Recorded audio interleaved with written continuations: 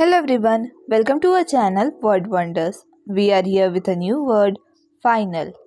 Final का हिंदी शब्दार्थ होता है अंतिम.